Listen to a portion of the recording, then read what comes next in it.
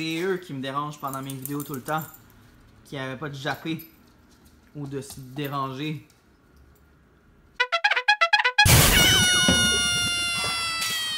Allô tout le monde, j'espère que vous allez bien. Aujourd'hui, je fais ma toute première vidéo par rapport à l'enseignement. Euh, mes dernières vidéos, bon, c'était quand j'ai fait mes cheveux puis que ça l'a mal viré. Euh, puis mes autres vidéos avant, c'était lorsque j'étais à Bali en stage. Ça fait longtemps que je suis revenu. Donc euh, aujourd'hui, euh, je vais faire ma toute première vidéo par rapport à la suppléance. Je vais vous donner trois trucs pour que vos suppléances se passent mieux. Moi, c'est des trucs que j'applique régulièrement quand je fais la suppléance. Puis ça aide à ce que tout se passe mieux. Je sais qu'il y en a plusieurs d'entre vous qui sont déjà enseignants, donc la suppléance c'est soit chose du passé ou vous en faites encore à l'occasion des fois. D'autres sont à leur première année de bac, vous commencez, vous êtes à la rentrée la semaine prochaine.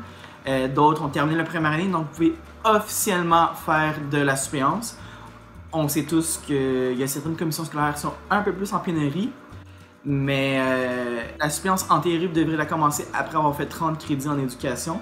Sinon, si vous en faites déjà, ben, je vais vous donner des trucs aujourd'hui pour que ça se passe mieux.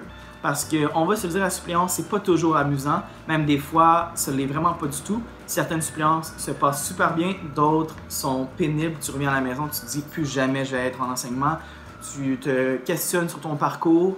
Euh, moi, ça m'est arrivé quelques fois de me dire l'enseignement c'est fini après des suppléances qui n'ont vraiment pas bien été. Mais c'est un mal à, passer au travers, puis on va se dire c'est quand même assez payant lorsqu'on fait une journée au complet. Hein. À quoi bon commencer euh, la vidéo aujourd'hui sans ma bonne tasse de café qui vient tout juste de finir de couler? Je vais chercher ça, puis on commence.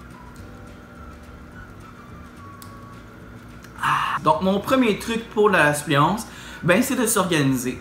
Donc, euh, soit tu prends ton agenda d'école, soit tu crées ton propre planificateur, soit tu achètes le mien, ou euh, tu peux en trouver, il y en a un peu partout, il y en a chez Bureau en gros, là, en ligne, il y en a partout, il y a plusieurs autres pages qui en font, planification école, la classe de Valérie, la boutique de Mathieu, il n'y a pas ça qui manque comme choix sur internet pour t'acheter un planificateur, mais c'est très important d'en avoir un, au moins pour organiser, ben, juste ta vie, et surtout pour noter toutes les suppléances que tu fais. Parce que euh, lorsque tu es débutant en suppléance, tu te dis je vais faire confiance au système, ça va s'organiser tout seul. C'est pas toujours le cas. Malheureusement, des fois, euh, certaines suppléances tombent entre deux chaises, des fois c'est mal noté. Euh, puis ça finit que sur ta paye, ben, il t'en manque quelques-unes des fois. Puis ben, ça peut faire une grande différence quand t'en fais beaucoup. Un truc, c'est d'avoir un planificateur dans lequel tu peux noter toutes les journées de suppléance que tu fais. Moi, dans le mien, j'ai opté pour un planificateur sur une semaine qui fait deux pages. Puis là-dedans, je note toutes les suppléances que je vais faire en haut ici. Euh, je note l'école, le nombre de temps, hein, la tâche que j'ai faite, parce que ça change selon le nombre de minutes que l'on fait au primaire. Puis la commission scolaire aussi dans laquelle je l'ai faite. Moi, en étant à Saint-Lin-Laurentide, j'ai accès aux deux, à deux commissions scolaires. J'ai accès à la commission scolaire des Samars et à la commission scolaire des affluents. Donc, euh, des fois, les jours de pain ne sont pas nécessairement les mêmes. Euh, c'est toujours bien de noter dans laquelle commission scolaire on peut l'avoir, parce que des fois aussi, les écoles dans deux commissions scolaires différentes ont le même nom. Euh, ça serait un peu gênant d'appeler à la commission scolaire puis se plaindre qu'on s'est pas fait payer alors que c'était pas la bonne du tout. Je le note aussi dans mon calendrier sur mon iPhone. Euh, j'ai un calendrier distinct suppléance. Comme ça, j'ai deux endroits où je l'ai noté euh, de façon que je ne perde pas les minutes que j'ai faites. Puis, ça me permet aussi de suivre la progression de mes suppléances. Mon deuxième truc, c'est j'ai toujours un livre particulier que j'ai dans mon sac à dos avec moi que je traîne, qui permet de combler des temps morts. étant donné mon passé dans les camps de jour, et ou encore mon présent. Euh, j'ai été habitué et formé à animer tous les moments dans une journée. Donc moi j'amène avec moi ce livre-là que j'ai trouvé chez Costco. Ça s'appelle Mon grand livre des pourquoi, publié par National Geographic Kids. C'est un livre vraiment extraordinaire qui fonctionne là, que ce soit du préscolaire jusqu'à la sixième année. Tous les niveaux sont captivés par ça. En gros, ce que c'est, c'est chaque page, il y a une question qui commence par pourquoi, puis on donne la réponse scientifique à la question en bas. Euh, moi, ça me permet de, combler des transitions. Euh, des fois, quand le travail est fini trop rapidement, je lis quelques pages avec eux. Euh, quand c'est un groupe un peu plus turbulent, un peu plus difficile, puis que le système de gestion des comportements ne fonctionne pas super bien, j'utilise comme émulation, j'aime pas trop ce mot-là, mais je l'utilise comme émulation.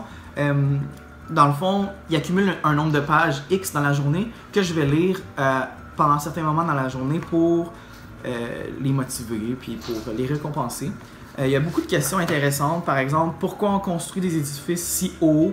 Euh, il y a d'autres questions par rapport euh, aux animaux. d'autres questions par rapport au monde humain. Par exemple, pourquoi est-ce que je dois dormir? Pourquoi j'ai les cheveux frisés? Pourquoi les personnes plus âgées ont des rides, etc. Ça répond à beaucoup de questions qu'on se dit la réponse est assez évidente, mais des fois la, la réponse scientifique derrière tout ça est un peu plus complexe, puis c'est surtout très intéressant pour les élèves.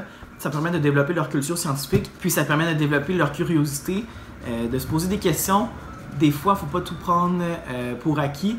Des fois, les réponses que l'on a ou les connaissances qu'on pensait avoir ne sont pas nécessairement les bonnes. c'est toujours intéressant d'avoir ça.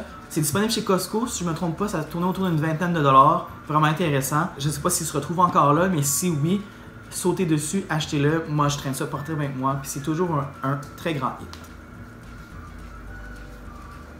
Ah. Mon dernier truc pour la suppléance, euh, c'est pas un truc organisationnel, c'est pas un truc matériel, euh, c'est seulement prenez rien personnel pendant les suppléances. On se rappelle quand on était plus jeune, qu'on avait des remplaçants. Moi, personnellement, quand on avait des remplaçants dans la classe, j'étais le pire élève. Pourtant, avec mon prof, j'étais un élève modèle, exemplaire, mais j'avais des très bonnes notes. Un élève très sage, qui parlait beaucoup, mais qui euh, n'était pas si dérangeant que ça. Pourtant, quand j'avais des remplaçants, j'étais l'élève qui dérangeait tout le monde, qui faisait de mauvais coups, qui n'écoutait pas, qui faisait pas le travail demandé. Euh, faut pas penser que les élèves font pas le travail demandé parce que tu n'es pas un bon enseignant ou une bonne enseignante. C'est pas parce que tu es un mauvais prof, c'est seulement parce que tu es un remplaçant, t'es pas signifiant pour eux malheureusement. Je prends toujours le temps avant de commencer mes suppléances pour prendre le temps qu'ils me connaissent. Je fais un jeu très simple de euh, deux mensonges et une vérité au tableau. Je leur fais voter. J'écris trois choses par rapport à moi. Deux sont fausses, une est vraie. Puis les élèves votent en fonction de ça, me posent des questions, j'essaie d'y répondre pour pas qu'ils deviennent mes mensonges. C'est toujours intéressant, ça permet de créer un lien pour la journée avec les élèves, mais des fois ça fonctionne juste pas. Des fois c'est juste une mauvaise journée. Euh, malheureusement, le rapport de suppléance qu'il faut remettre à l'enseignant ou l'enseignante à la fin de la journée, il est pas positif, mais ça va pas faire de toi un mauvais enseignant, ça va pas faire de toi à ce que tu vas te faire moins appeler pour remplacer. Ça arrive des mauvaises journées, puis il vaut mieux être honnête sur la feuille que de dire Ah oui, c'était une journée extraordinaire, puis que l'enseignant, quand il questionne ses élèves, il réalise que finalement ça n'a pas été une bonne journée. C'est plus payant pour toi d'être honnête avec le prof que de s'inventer des histoires. Des fois il y a des bonnes journées, des fois il y a des mauvaises journées. Alors c'est ce qui conclut la vidéo d'aujourd'hui. Trois trucs bien simples pour la suppléance euh, qui je crois vous permettront de bien débuter en suppléance ou d'améliorer vos remplacements. J'espère pour vous que ça commence bien. La rentrée cette semaine, c'est à des journées différentes. Aujourd'hui, chez moi, à Salin, ça commence aujourd'hui officiellement la rentrée. Euh, j'attends que le téléphone sonne. J'espère pour vous que ça se passe bien de votre côté. Si vous avez aimé la vidéo aujourd'hui, n'oubliez pas de laisser un pouce vers le haut pour vous dire que vous l'avez aimé de vous abonner à ma chaîne en bas en cliquant sur le bouton. Comme ça, vous allez pouvoir toujours suivre les dernières vidéos que je fais. N'oubliez pas d'aller consulter ma page Facebook pour tout ce qui est enseignant, enseignement et pédagogie qui s'appelle La photocopieuse du stagiaire.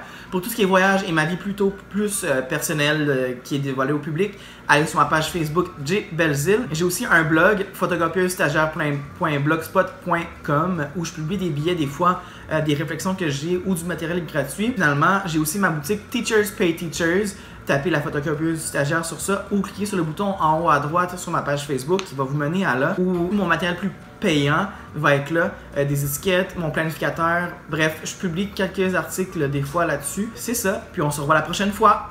Bye tout le monde! Fait que euh, on a décidé d'y aller all-in parce que. Steps are for losers. Eh bah là ça fait 20 minutes, fait qu'on y va all-in. Oh ouais, oh ouais, oh ouais!